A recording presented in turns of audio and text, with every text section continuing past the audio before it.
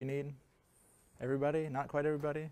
So those of you who didn't raise your hand, you need more than this one? Or you have enough and you're just here because you love to learn? One more? Are you doing design reviews? Yeah? It's an easy way to get one. It's a good idea. So why, why did you wait so long to get all your lecture credits?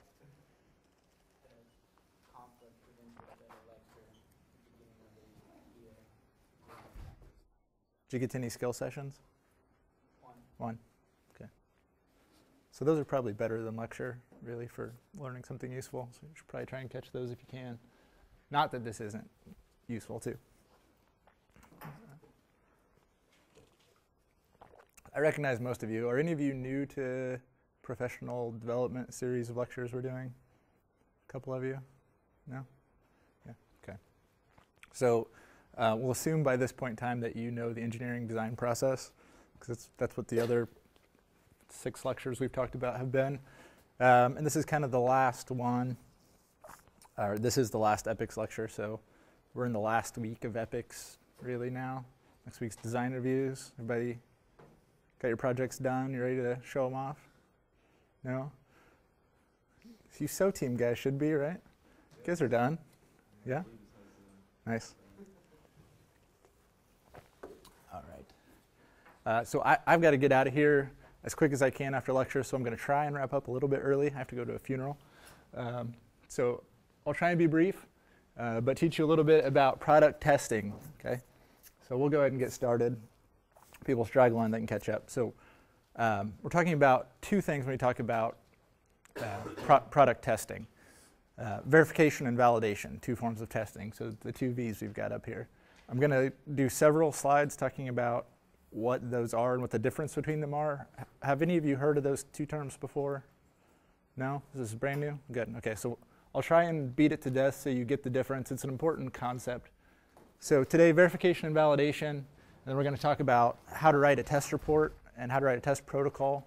Um, I'll just go over those kind of briefly so you understand generally what goes into them. And then also, how do I know what I should be testing? So I need to run some tests. What are those tests? What should I do? So um, going into verification and validation, um, the, the, traditional questions that you're taught to ask in verification validation are, did we make the right thing, and did we make it right? Okay. So validation is, did we make the right thing? So we had some user who had some need. Did we make something that met their needs?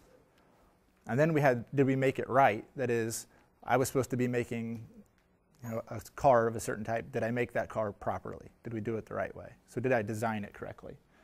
So if we look at, if we think about the engineering design process, validation is that thing that maps back to your user needs. It's did we make the right product? Okay. And then verification maps back to your specifications. All right. So we had a specification that said it should withstand 300 pounds. Can it do it? So that's the difference. I'll, I'll go through this a couple of different ways. So user need says a product should do something, right? We all remember the user needs. Um, so validation says, yes, it does that thing, or no, it doesn't. So that's the test that you're going to run. So you're wanting to look for some kind of test that will discern whether or not that user need has been met. Okay? And then verification says, my product should meet some criteria. So this was those engineering specifications that you put to that user need. So we said it needs to be, it needs to last for 100 years. And we said to last 100 years, it needs to withstand, you know, 700 pounds at 10 million cycles. That's the verification test that we're going to run. Does that kind of make sense to everybody what the difference is between verification and validation? Okay. So in, in product development, there's really three forms of testing you do. There's the kind of ad hoc testing you do while you're doing design. So that's when you're building a circuit and you you hook the thing up to an oscilloscope and you're trying to see, am I getting the right output? But that's not really a formal test. You're just debugging as you work. And you'll do the same thing in mechanical design, right? So you'll make a part and you'll just kind of, you know, is this about right? And, and do those kind of quick tests. But when you want to do a formal test where you're really looking at, do I pass this criteria? And that's verification, okay? So that's, that's the difference you'll get into there. So if we map this out, so this, this graph comes from the FDA. So most of you that know me know I come from medical device background. So it has up here as a medical device, but you could substitute for that any device, any service that you might do, any kind of program that you might have that you are designing, anything that can be designed really. Okay. So if we walk through from the top left, my laser pointer isn't worth anything, but um, if we look up here, we have user needs at the top left, and then design inputs as the next box as we go down. So that design inputs is another way of saying specifications, okay? Similar concept. So we have our user needs, and then we make our specifications, and then we do our design process. So this is kind of like in the EPICS process, the conceptual design. And then we do design outputs, which we talked about last week as the output of detailed design, right? So we go through and do detailed design, and we create prints or schematics. We might create bill materials and routings, kind of things. That's what comes out of, of uh, our design process. And then we finally have our, our finished device. So verification takes the design outputs, or those prints, the routers, all those kind of things that you made that embody what your device is, and they try and check to see if they met those design inputs or specifications that you had. Okay? So just saying the same thing, but showing it to you in another way so you try and understand how th this is really how you complete the circle on the design cycle. Okay? So this is how you as an engineer say, I know for sure that my user needs were met. And I know for sure that my specifications were met because I went and performed this testing. Does that, does everybody follow that, that tra train of thought? So when you want to know what it is that you need to test on your device, what test should I run? You, all you need to do is look back at your user needs and say, how do I test to know that I accomplished that user need? Right, so one of our first lectures, we talked about uh, designing a kite. So one of our user needs was the kite needs to fly, right? So you could go out and write a validation test that says a user should go out to a public park and hold it up, and if we do that nine times out of 10, it should fly. All right, so that's a validation test. We're looking at function. How does the thing perform? Where the verification test on that kite was, we said it should weigh less than a pound, and we put it on a scale and weigh it. Does that make sense to everybody, the difference between verification and validation? Okay. It's an important concept, and as you get into testing, um, you'll need to talk a lot about what kind of test you're running at any given time. Um, looking at a, a, bit of a cartoon of this same idea, and they've put it in terms a little bit different, but really trying to bring home the communication aspect of this. So a lot of the times, the person who gathered your user needs isn't the person who's doing design and they're not the person who's doing testing, and the person who designed isn't doing the testing. So there's a lot of disconnects because when you have a large project, you're working with a big team. In EPICS, you guys work with a big team. And when you're designing, you might not be the project partner liaison. So you may have miscommunicated what it was that your partner needed. So this is kind of talking about that. So marketing requested it is kind of like your user needs, right? So whoever was in charge of getting user needs said we need this three-tier swing and then you know somebody ordered it wrong and then you guys designed it wrong because you didn't communicate what it was that they wanted and you can see it just goes on and on. And what the customer really wanted was just a tire swing. So it was that lack of communication because they didn't say i want a tire swing. They said i wanted a swing that hung from a tree and it got put together wrong. See? So please do emphasize teamwork as you go through this process to make sure that when you write when you write your user needs and specifications other people may design the thing that meets those user needs and specifications, and if you wrote them poorly, they don't know what you meant. So it, just bring home the importance of writing those, because when you go to do your testing, your verification validation, you're testing back to those spe specs you wrote, and if they're wrong, you can run the right tests and validate the, the product, but have the wrong intelligence that led behind it. That makes sense to everybody? This is an old cartoon. There's a lot of new versions of this, but I think this is the original one from the 70s. So um, I, I like S Field Service installed it the best. I would like to see that swing up there with two sticks holding up the whole tree. All right. Did I go too far? No. Okay, so just some more examples, verification versus validation. So verification tests are things like unit tests in your code, okay? So if you're a software engineer and you write a function, you say, I'm going to have some input and some output to my function. So say it's supposed to divide two numbers. You'll have two inputs, you know, input A and input B, and inside your function you're going to do A over B. And you should have some error handling if B is zero, for instance, or if it's an irrational number. Um, so those kind of things are unit tests. So you can look and say, I have this big software project, but this one little function, I want to check it and make sure it works properly. So that's a verification test. And then all those kind of bench mechanical tests, these are just examples. There are a lot of different forms of verification tests, but just give you a flavor of these. So like a tensile test. So you might take a, a mechanical specimen and pull it apart until it breaks. Okay. So you're just verifying that the strength is what you thought it was on that part. Does that make sense? So validation, on the other hand, are things like user testing. So we talked about doing, in user needs, we talked about doing surveys, we talked about doing interviews, these types of things. Does everybody remember that? So when we do that, you can come back around full circle at the end of your design phase and say, when we interviewed you at the beginning, you wanted you know, these several user needs, what we extracted from our interview. This is what we designed. Did it meet your user needs? Okay. Or you may just observe them and try and get the same information. So if you're going to do those kind of tests, go back and, and review that lecture we did on user needs, and all those same principles apply.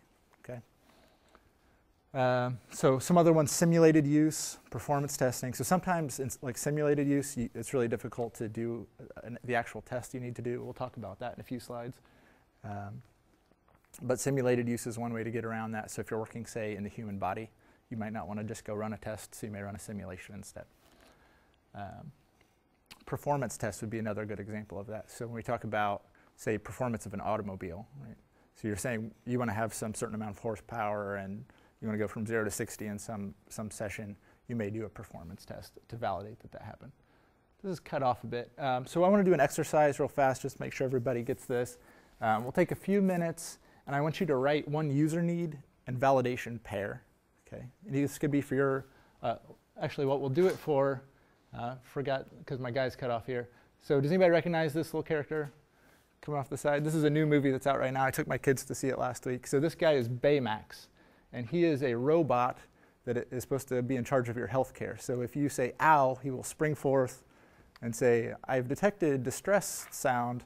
What can I do to assist you? And he will not go back until you're healthy. Okay, so he's a healthcare robot. It's a very engineering centric movie. It's kind of funny. Uh, but so, so for a healthcare robot, I want you to come up with one user need validation pair and one specification verification pair. Okay, I'll give you a few minutes to do that. Come up with some user need, validate it, and some uh, specification to that user need, and verify it. And then after a few minutes, we'll partner up and criticize each other. Okay.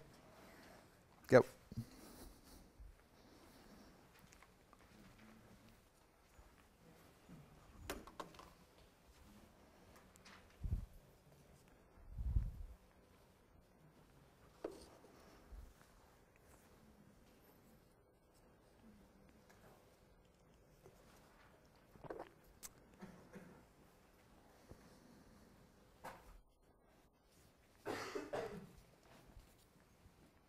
Did you not bring a pencil? Get it up here. Okay. That's all right. You're all right. As long as you're deep in thought. It's okay. As long as it's in your brain, it'll work. You guys coming up with something? What's your user need? Mm, I was gonna say like guys to be able to like put a band-aid on a kid's a child's knee that's bleeding. That's a good one. Yeah. Come up with anything? Healthcare robot. What's he got to do? Trying to think. Should be a bunch of them, right? Yeah. I mean, I can think of a bunch of general stuff, but It's okay. alright.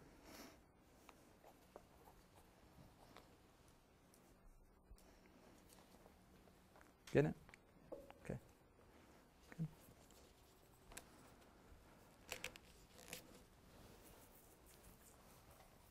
What are you guys doing? Coming up with something?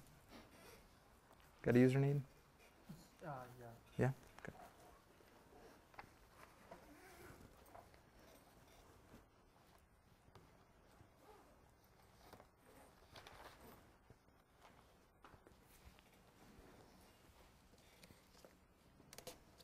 You staying warm and cozy back here? Just goofing off?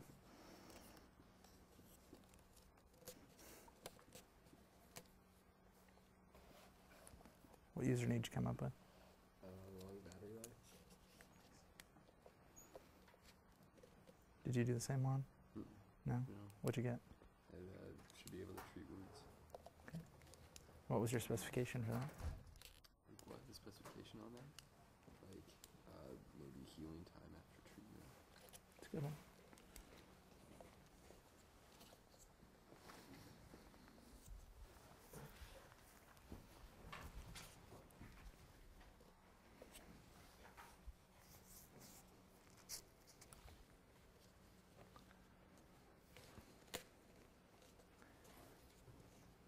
All right, does everybody come up with a user need and how to validate it? Just a concept for a test, validation test, and a specification for that user need. So if any of you don't remember, you should by now. We've talked about it for seven weeks. Uh, specification is a quantitative assessment of that user need, right? So if the user need is it should be strong, quantitative should say it should last a number of cycles, right? Everybody come up with some kind of specification, some kind of a test for that specification? No, yes? Dead faces? All right, everybody's just thinking about their finals? Just thinking about going to the cactus on Thursday or what? Okay. All right, so go ahead and partner up somebody close to you and then just share what your user need, validation, specification, verification pair were, and then try and give each other suggestions for how maybe you could make, you know, that, how could you make that specification more quantitative? How can you make it more specific and exact and measurable? And then talk about your tests, whether or not your test would give you a yes or no answer. Okay? Go. Should be talking.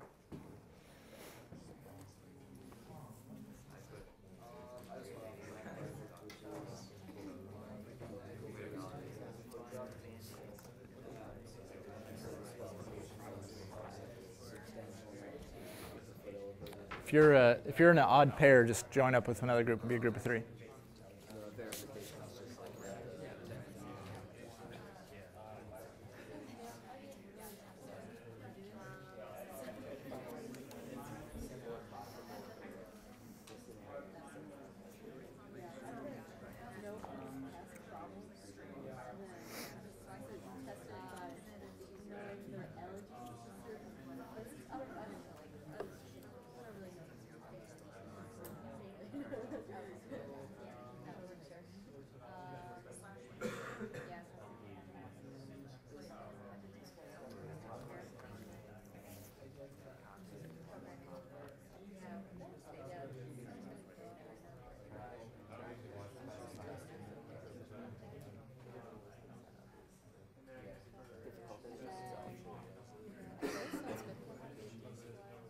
Come up with? I, I wasn't really sure how to do this. So I just put um, know people's past problems. Yeah, that's what I was. Like have a file showing the person's history. And You have to do you a could test it by figuring out their allergies to certain foods.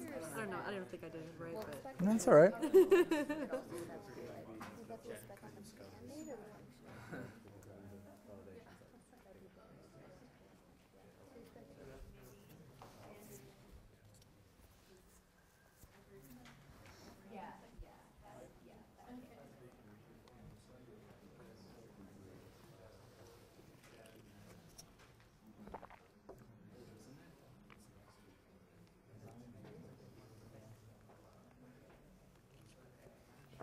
All right, did everybody get a chance to discuss?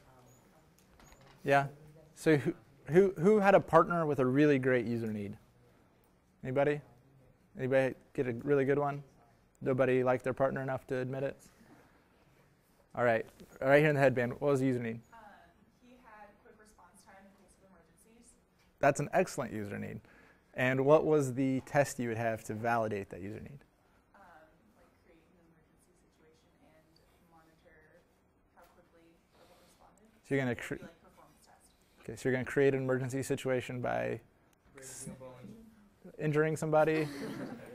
okay, simulation. Okay, that's a good idea. I would probably simulate that rather than do the real thing. Do you might have a really good specification? Anybody's partner have a good specification? About right here in the sweater? What was your partner's specification? um, specification was like if it completely repaired it, like how complete it. Okay, so so what user need was that specifying? Uh, his need was that he needed to be able to like fix injuries, Okay, so it needs to fix injuries. Specification is like how completely. how completely doesn't it? Okay. So how completely does it need to be? All the way? okay. so a hundred percent healing on the healing scale. Okay, could, there could be a scale associated with that, right? I'll, I'll buy that. So we've created a scale called the uh, Purdue Healing Scale, and you need to achieve a 100% heal rating. Okay. So all by that. Um, and then you, how are you testing that specification? What's your verification? Uh, How do I know I achieved 100% heal? Robot will ask you. Well, but I need to specify. I'm designing the robot, right? So we need to we need to have a test to say, robot says it's 100% healed. Is it well, after you Right. design a scale, you could have it treat different injuries at the same time. right? So maybe maybe you have a board of physicians that you get together, right?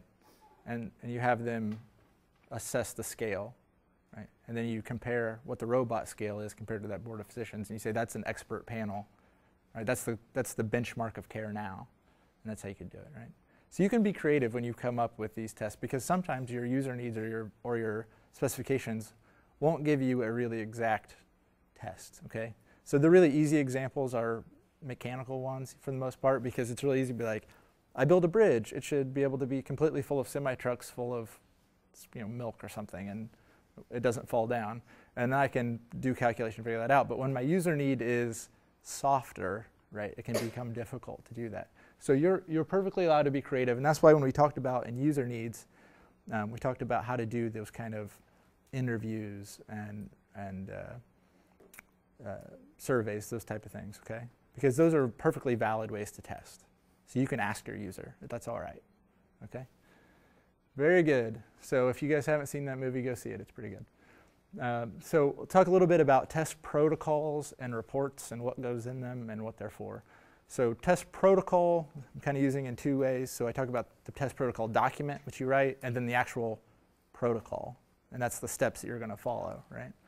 So the steps that you're going to follow to do a test um, are a lot like the steps in a recipe when you write them. Okay, so if have any of you ever cooked anything from a recipe? Most of you have probably seen one at some point in time in your life, except for you. You've never made anything from a recipe. Okay, so it'll tell you, you know, mix three eggs with one cup of flour with a whisk, and it'll give you very specific instructions on how to do it. Okay, the only things that it will omit are things that are commonly known. All right. Same thing with your test reports. So I give a bad, better example because this better example isn't necessarily good, but it's better than the bad example. So the bad example is I have some device and I'm going to check to see if it will break when it's bent. That's a bad protocol, right? Because I could bend could mean a lot of different things. How much am I bending it? How far am I bending it? What force am I using to bend it? So that could mean a lot of different things. A better example might be to say, fixture that part three inches from the end of the handle and then 12 inches from the end, I'm going to apply a load with a servo hydraulic frame of you know, some number of pounds and some number of cycles. So I'm giving some specific instructions on how to go about doing this. So you can get even better if you can specify exactly what type of machine to use, you know, which machine to use. So if I'm baking this pumpkin pie and I develop it in uh, you know, one certain type of oven and use a different type, you might get a different result. Okay? So the best you can do is to specify everything completely. Okay? So try and be as exact as possible. Um, I thought you guys might like a picture of pumpkin pie after Thanksgiving. Uh, so th- the other piece of this um, is an acceptance criteria. Okay, so you're going to write here's what I want this test to do in order to determine whether or not I'm meeting my my um, specification. Okay, so I'm writing the test to see if I've got a yes or no on my specification. And my acceptance criteria is simply that question which you ask yourself to get to that yes or no answer. So a bad example would be it passes the test if it doesn't break. Well, that could mean a lot of different things. What does it exactly mean to break something, right? So what if I took a spoon and I said I should be able to, you know, pick up a piece of Chicago deep dish pizza with the spoon without it breaking, and it bends? Is that bend breaking? It didn't snap in half, right? So be more specific. So maybe a better example would be to say it'll be accepted if no yield is observed under some number of pounds. Okay, so for those of you who haven't taken strength of material yet, that's basically where you bend something until it doesn't snap back on its own. Okay, so um, the more specific you can be with your acceptance criteria, the better off you'll be as well. So if we look at kind of a generic example of a test report, you should have the name of the product. you should have the name of the test. So what kind of test am I running? Right? So this is a yield strength test, or it's a hardness test, or I'm testing, you know, a function. But I'm going to document what I'm doing, and I'm going to tell you um, if it's verification or validation, so that I can keep track. And when I go through and I write my specification user need document, I can map all of those back and make sure that I satisfied all of them. And then you're going to write a few things that are exactly like if any of you have written a scientific paper, like a scientific article, or ever read one, or if you've written any kind of tech, technical document, you usually have a background section. And the point of that is to explain why you're doing what you're doing. Because telling, you, telling someone what you did only tells them part of the story. They need to know why. Because 10 years from now, that thing you're making may have changed, or technology might have changed, and why you did it might not make sense anymore. So they may not want to repeat and do the same thing that you did. Okay? Or maybe they don't understand why you did what you did because they're less experienced with the product. So it's important to give, give a background, tell someone why, explain the materials that you used. So in your recipe, this is the list of ingredients. So um, what are the materials you used? What type of test equipment did you use? How many pieces did you use? So most of the time in Epics, we test one at most, and we usually don't do any destructive testing because you guys hand built that one and you don't want to destroy it to find out if it's strong enough because you have to build another one. But uh, most of the time in industry, you'll destroy a bunch of stuff to test to see how much it can take. Okay, so your skateboard, when they designed that, somebody broke a bunch of those to see if it would handle the rigors of being a skateboard. Okay, um, then you're going to put in your methods. That's that list of things in the recipe, the steps. Okay, so that's how to do exactly what you want someone to do. And as a design engineer, this is how you control things. Because a lot of times you won't run the test, but you want people to test it exactly the way you want it tested because you know more about that product than anybody, right? So you want control. So you want to tell people how to do it, and then you write in that acceptance criteria. So this is basically what goes in a test protocol. So as you guys test when he drops his phone on the ground, if it's going to break, you're going to write these kind of things down. You usually want to sign it at the bottom and date it so that you know when and where it came from, so that when the test is run, you have a line in the sand that said, this is what we're going to do and why we're going to do it and how it's going to be done, okay? So from a test protocol, you'll go into a test report. A test report, I recommend you just take your test protocol document and you rename it test report, and that's where you start, and you leave everything at the top alone, except for you write report instead of protocol. You leave the background exactly as it was unless something new has occurred. You have your materials, but what you're going to talk about here is what changed, okay? So what I intended to do was to run a test like this with this stuff. But what I found out was that machine was broken. I couldn't use it. It was too expensive to make seven pieces, so we did five. Something will change along the course of the thing, and you need to explain why it's still okay, why this test is still valid. And then you're going to do the same thing with your methods, okay?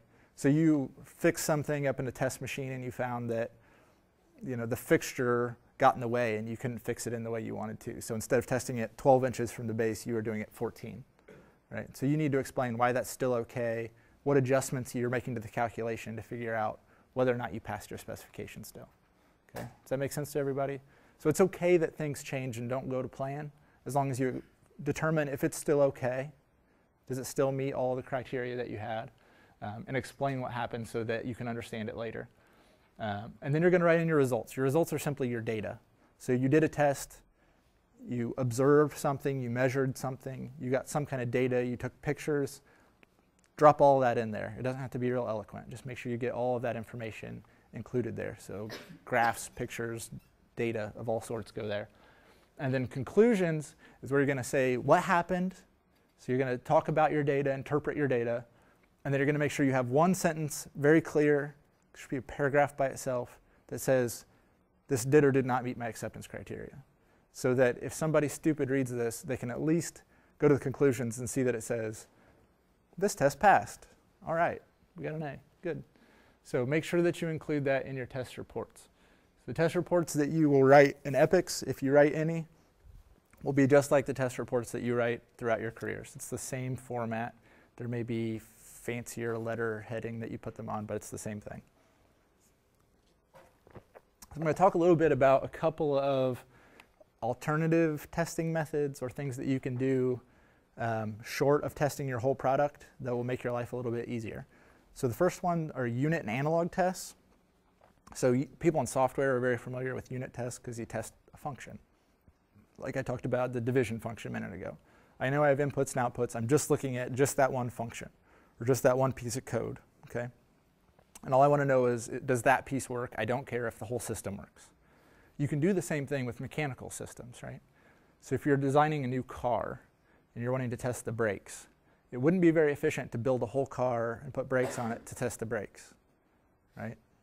You want to know if the brakes work a lot sooner than that. So you're going to design a test to just test the brakes alone with none of those other components involved. So you're going to isolate just what you're looking at.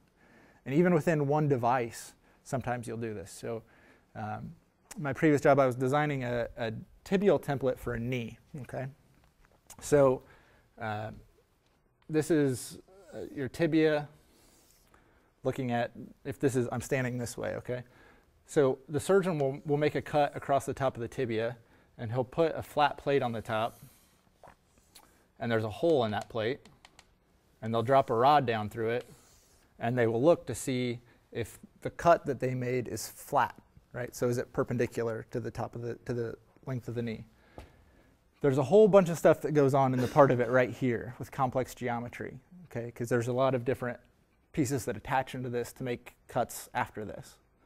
But what all we were really interested in is does that line give us a straight line? Right? We wanted to know if we were within a degree. So we, you know, built instead of building this plate with all that complex geometry, we just built a flat plate with a hole. And you can test it that way, okay? So that's an analog test. So that's where you say, I have something complex. I'm going to pull out the simple thing I'm interested in and just make that instead of taking all the time and effort to build the complex part. Does that make sense to everybody? So a lot of the time, you don't want to go through the cost and time to build a complex part when you're only interested in a simple effect of that part. And you can get that through an analog. So, go, so say you're designing one mechanism.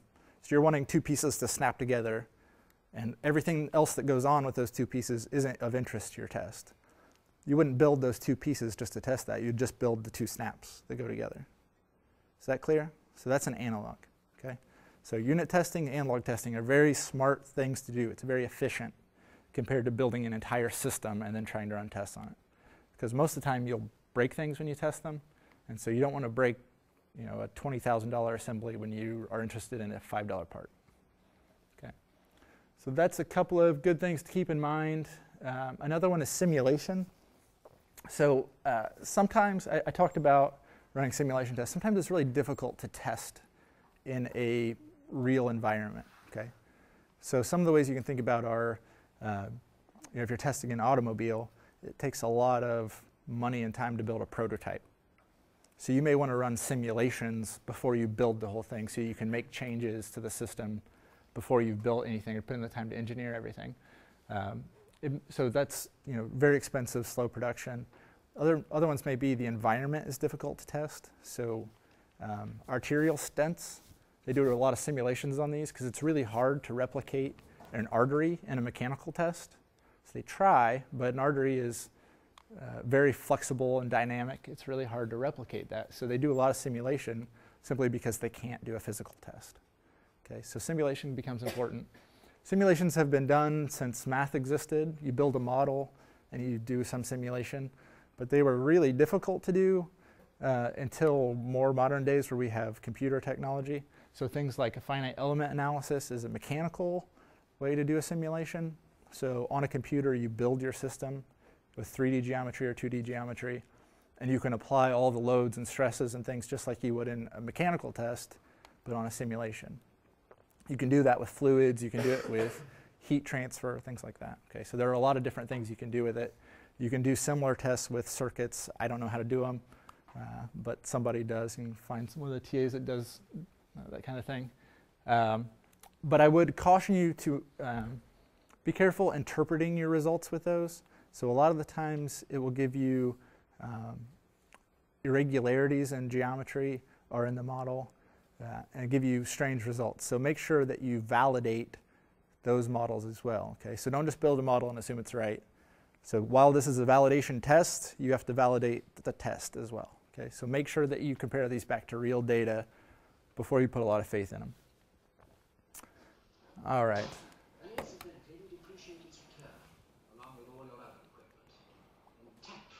when you return from the field.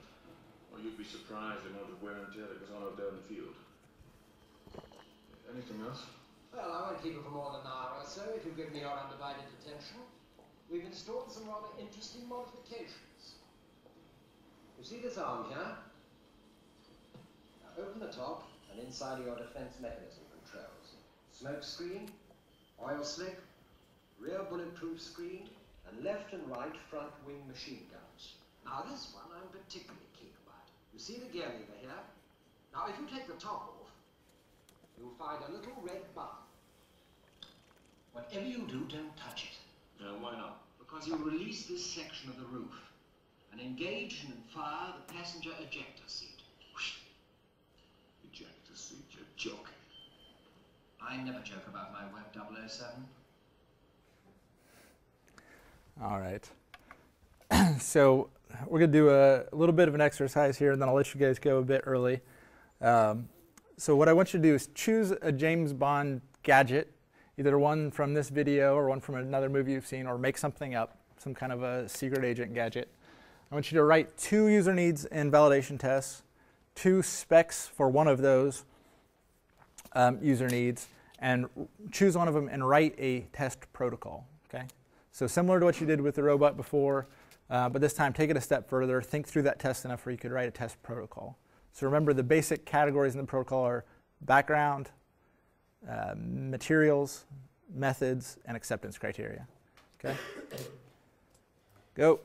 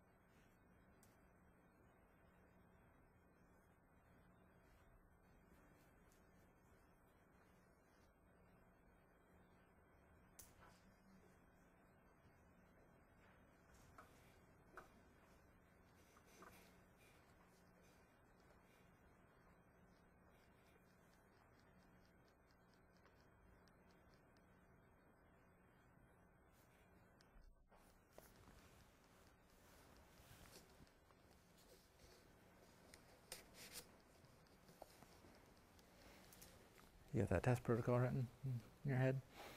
Actually, I really think I do that. How's it going?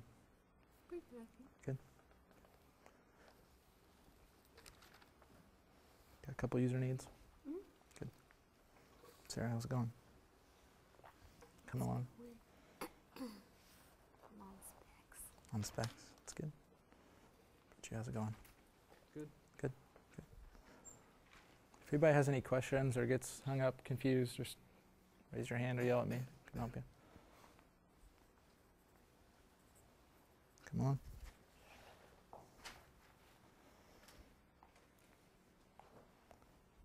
What's your gadget?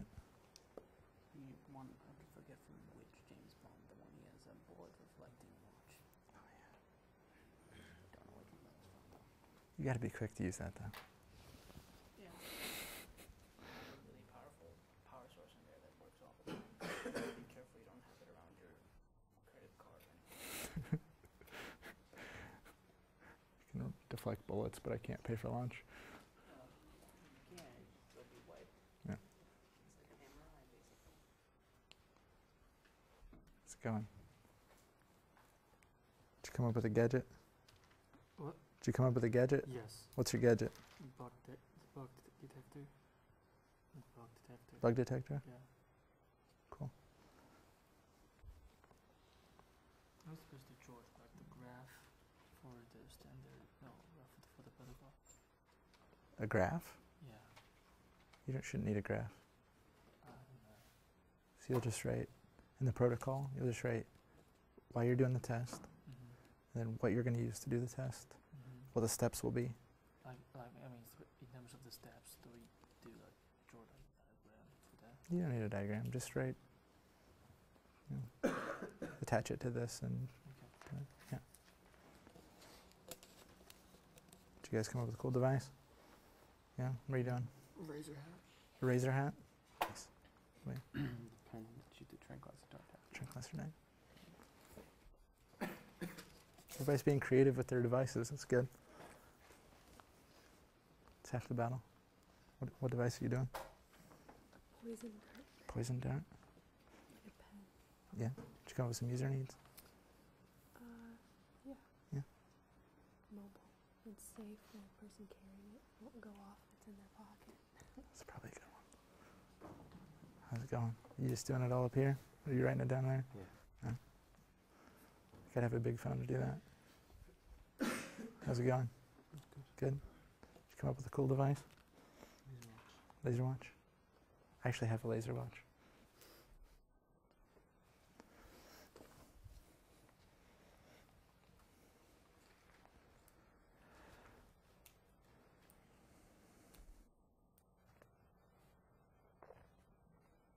So everybody started writing their protocol. If you haven't, you might pick a spec you've got and start writing down your protocol.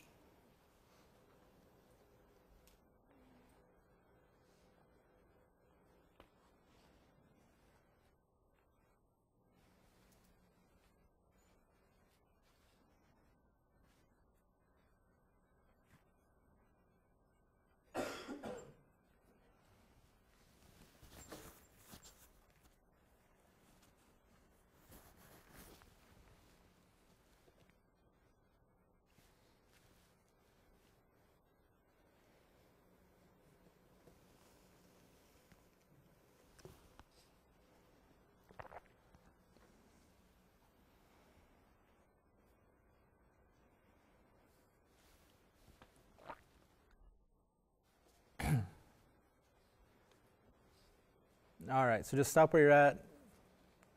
Get back with your partners from before. Just tell each other what you come up with in terms of user needs and specs. As, you, as your partner's telling you about what they came up with, with their user needs, think through is it really a true user need or is it a specification? So, is it really something, one of the broad features of the product? Okay. Specifications, you should be asking them is this something that has a yes or no answer? Is it quantifiable? Right? So, is this something that is a true engineering spec? And then your verification validation, make sure that those tests make sense toward the appropriate verification validation. Okay, good. Then you can talk about your reports just a bit, um, and just look for is the acceptance criteria pertain back to the, the specification that it came from, right?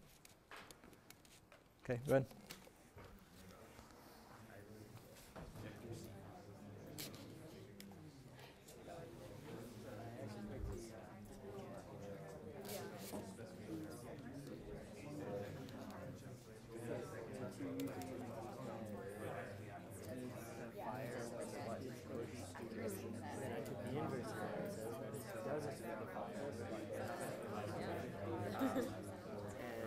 and built my specs accordingly. And then my, my validation was I was under the assumption that that ejector seat was rocket propelled.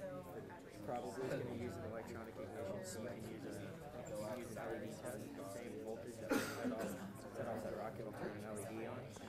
Um, instead of using an LED, I used a photodiode and then off a pseudo random sequencer. Uh, mod 7 was using six gears and a button.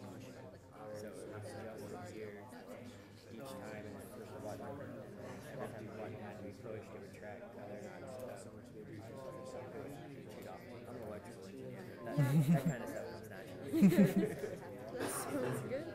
I just did, um, I said make sure it can handle um, any weight and then to make sure it'll fly backwards instead of forwards, the person. I said you could test it by using like a 200 pound weight. like a and electrical, that's good. Yep. Cool.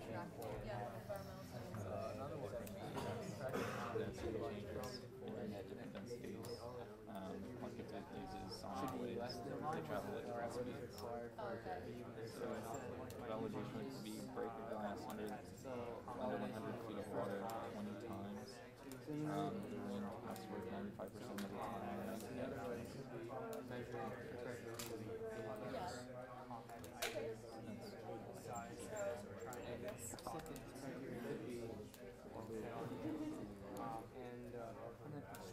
I didn't think of any on business. That was pretty good. What did you guys come up with?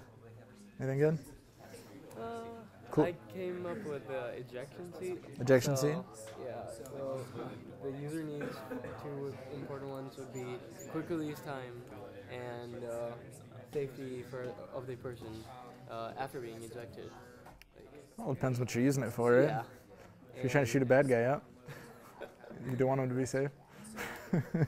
Generally, it's Yeah. an emergency seat, Sure. so I'd say. It is the passenger seat, though. Yeah. Yeah, that's good. Oh, it's the passenger seat or the driver seat? It should be the driver. Was it the driver? I thought it was. I thought it was the passenger. I think it was the. The video is the The passenger. vid- video is the passenger seat. Could, if somebody was in your car, you could shoot him out.